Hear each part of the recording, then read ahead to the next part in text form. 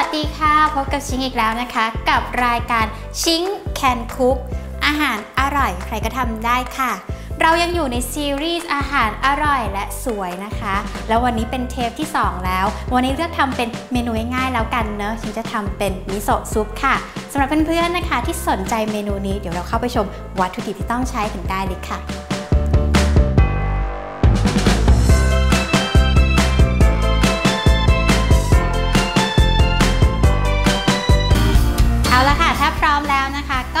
ลุยไปพร้อมกับชิงเลยนะคะ ซึ่งตอนนี้นะคะชิงก็ได้ตั้งน้ำซุปเดือดไว้แล้วค่ะ แต่ถ้าไม่มีน้ำซุปนะคะ จะสามารถใช้เป็นน้ำเปล่าก็ได้เช่นกันนะคะ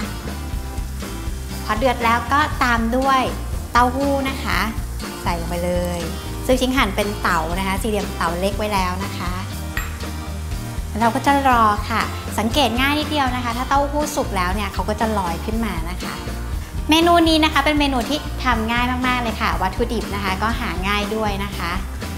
จริงๆแล้วรสชาตินะคะมาจากตัวเต้าเจี้ยวนะคะ หรือมิโซะนี้เท่านั้นเลยค่ะ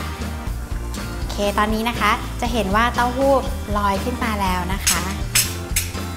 ปรุงรสง่าย ๆ ด้วยมิโซะค่ะ ใส่ลงไปเลย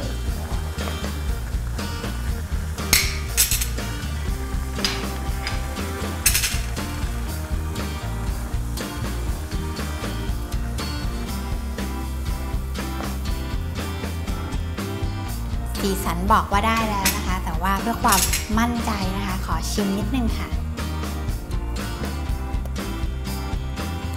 ได้แล้วนะคะ ง่ายจริงๆ สุดท้ายนะคะ ก็ใส่เป็นสาหร่ายวากาเมะนะคะ ที่เมื่อกี้แช่น้ำไว้จนนิ่มแล้วค่ะ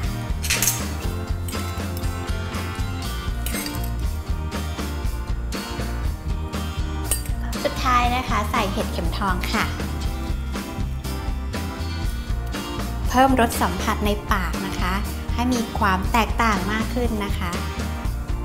เร่งไฟจนเดือดอีกครั้งหนึ่งก็เป็นอันเสร็จแล้วค่ะ โอเคค่ะงั้นเดี๋ยวเราเข้าสู่ขั้นตอนการจัดจานกันได้เลยนะคะ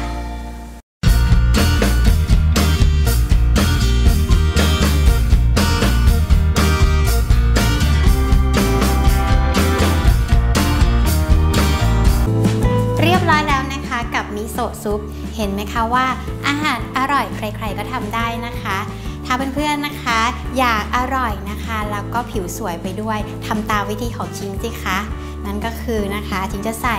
คอลลาเจนนะคะ แบบผงแบบนี้ลงไปด้วยค่ะ ฉีกซองเลยนะคะซึ่งชิงชอบคอลลาเจนของยี่ห้อแอมเซลนี้มากเลยค่ะ เพราะว่าเขาละลายน้ำได้ง่ายนะคะ แล้วก็ไม่มีกลิ่นคาวเลยค่ะ ใส่ลงไปเลยนะคะ แล้วก็เป็นผงสีขาวนะคะ สวยงาม แต่เพื่อผลลัพธ์ที่ดีที่สุดนะคะ อย่าไปใส่ผงคอลลาเจนนะคะ ตอนน้ำเดือดๆทิ้งไว้ให้อุ่นแบบนี้ก่อนนะคะ สุดท้ายนี้นะคะชิงก็ต้องขอขอบคุณนะคะ a m c e l Peptide and Tripeptide Collagen มาก ๆ เลยค่ะ ที่ส่งผลิตภัณฑ์ดีๆนะคะ มาดูแลผิวสวยให้กับชิงนะคะ ที่สำคัญนะคะคอลลาเจนนะคะก็ยังมีส่วนที่จะช่วยเสริมสร้างกระดูกและข้อต่อให้กับชิงด้วยนะคะ เพื่อนๆคนไหนที่สนใจนะคะ ไปหาซื้อกันได้เลยค่ะ ที่ซื้อลือหะนะคะ วัดสารนรัตขายยาชั้นนำทั่วไป และเทปหน้านะคะที่จะมาพร้อมเมนูอร่อยเมนูไหนนะคะ ก็ต้องฝากทุกท่านติดตามด้วยนะคะงั้นวันนี้ชิงขอตัวลาไปก่อนแล้วค่ะ สวัสดีค่ะ